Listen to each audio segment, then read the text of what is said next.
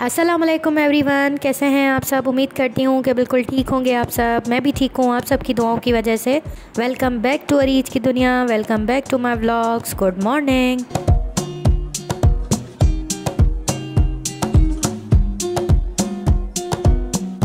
नए दिन, नई उम्मीद के साथ मैं करने लगी हूँ अपना व्लॉग शुरू। तो जी, ये था सुबह का टाइम और यहाँ पर मैं कर रही थी नाश्ता और आज ना मैं नाश्ते में ले रही हूँ अंडा और साथ में मैंने एक रोटी ली है, साथ में चाय है और मेरा बहुत मज़ेदार सा आज नाश्ता हो गया है। उसके बाद ना मैं आ गई थी किचन में और आज आई हैं फ्रेश सब्ज़ियाँ। आपको ना जैसे पता है कि मैं सब्ज़ियाँ आती हैं तो सब्ज़ियों को अच्छी तरीके से सेट करके रखती हूँ।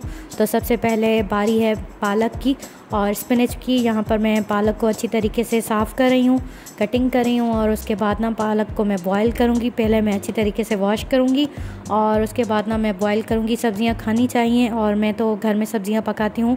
हमारे घर में सब बहुत ही ज़्यादा शौक से खाते हैं और सबसे ज़्यादा सर्दियों में तो स्पिनच हमें बहुत ही ज़्यादा पसंद है। और जब ना मैं बॉयल करके रखती हूँ तो बहुत ही ज़्यादा सब्ज़ी ना बहुत ही ज़्यादा जल्दी में बन जाती है और साथ में ना बॉयल करते हुए थोड़ा सा टाइम तो लगता है ये काम टाइम टेकिंग है, लेकिन बहुत ही ज़्यादा अच्छा हो जाता है जब मैं सब्ज़ी बनाती हूँ तो रेडी जल्दी हो जाती है।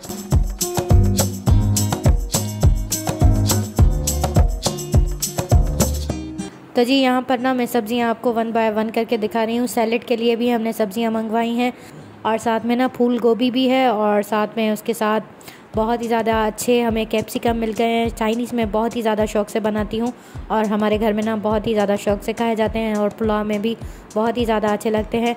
और साथ में ना प्याज भी थे, आलू भी थे और साथ में बैंगन भी थे, बैंगन भी आजकल हम बहुत ही ज़्यादा शौक से खाते हैं। फ्राई बैंगन ना मेरे घर में सबको बहुत ही ज़्यादा अच्छे लगते हैं। साथ में टिंडे हैं, टमाटर हैं, सब्ज़ियाँ बहुत ही ज़्यादा फ्रेश हैं और सब्ज़ियों को ना मैं बॉक्स में रख के फिर फ्रिज में रखती हूँ और इसे बहुत ही ज़्यादा अच्छा हो जाता है, फ्रिज में जगह भी हो जाती है और सब्ज़ियाँ भी सेट करके मैं रख देती हूँ। सोचा था कि थोड़ा सा व्लॉग भी बना दूँगी। कभी कभी ना मैं सब्ज़ियों का भी व्लॉग आपके साथ शेयर करती हूँ। जब भी मैं बनाती हूँ तो आपके साथ कुकिंग भी शेयर करती हूँ और जो भी मैंने आज तक व्लॉग बनाए हैं, उम्मीद करती हूँ कि आप वो बहुत ही ज़्यादा इन्जॉय करेंगे। दावत व्लॉग मेरे पास बहुत ही ज़्यादा हैं।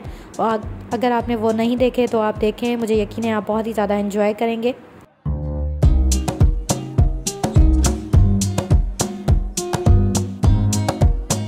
तो जी, सब्ज़ियों को ना मैं ऐसे ही ऑर्गेनाइज़ करके फ्रिज में रख देती हूँ और साथ में ना भिंडी भी है, जो बहुत ही ज़्यादा अच्छी लगती है।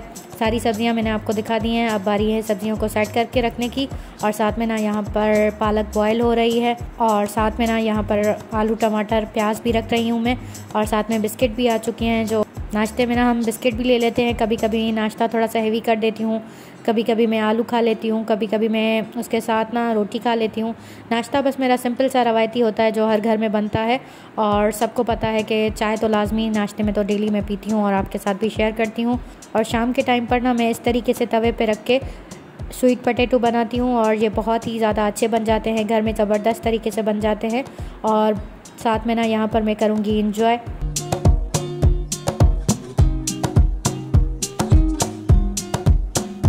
अगर आप मेरे चैनल पे न्यू हैं और अगर आपने अभी तक मेरा चैनल सब्सक्राइब नहीं किया तो आप मेरे चैनल को सब्सक्राइब करें। अगर वीडियो पसंद आए तो लाइक करें, बेल के नोटिफिकेशन को दबा दें ताकि मेरे नए आने वाले व्लॉग्स आपके पास आ सकें। मेरे जो व्लॉग्स हैं वो अपनी फैमिली और फ्रेंड्स में शेयर करें। Thank you so much.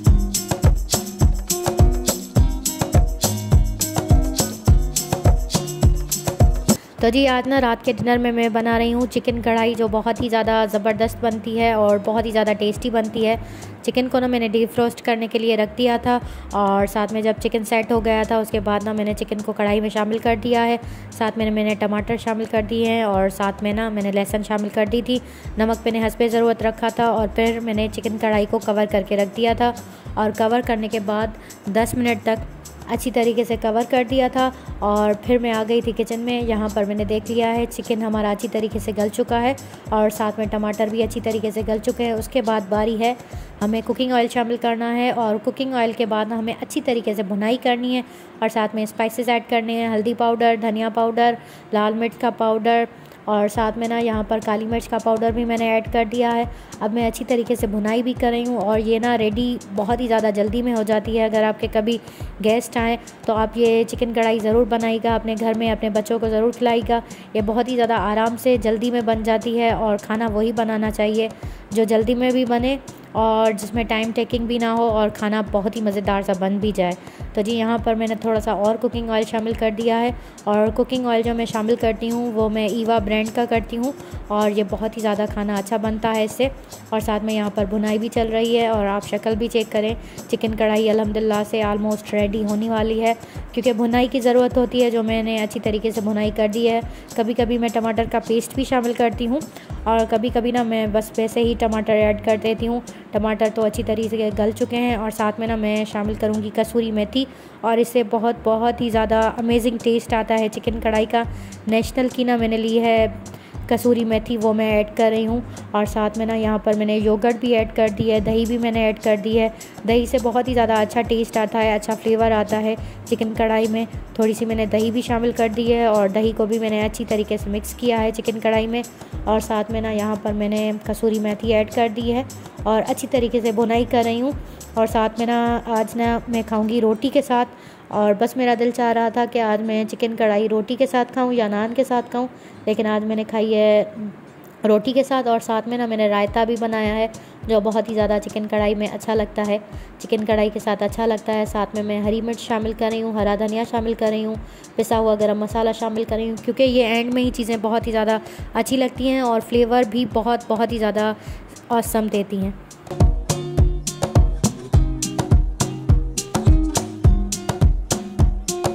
तो जी, डिनर मैंने टेबल पे लगा दिया है। अब हम साथ मिल के घर वाले यहाँ पर डिनर कर रहे हैं और यहाँ पर मैंने अपने लिए प्लेट बनाई है। थोड़ा सा मैंने रायता लिया है और साथ में सालन है, रोटी है और अल्हम्दुलिल्लाह से आज का डिनर बहुत ही मज़ेदार सा यहाँ पर मैं खा रही हूँ।